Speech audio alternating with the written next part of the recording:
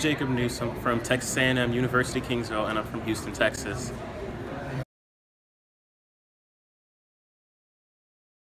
So what that means to me is that, for instance, I'm a visual learner, so that's really helped me in my biology courses because I, like, reading books necessarily doesn't really help me.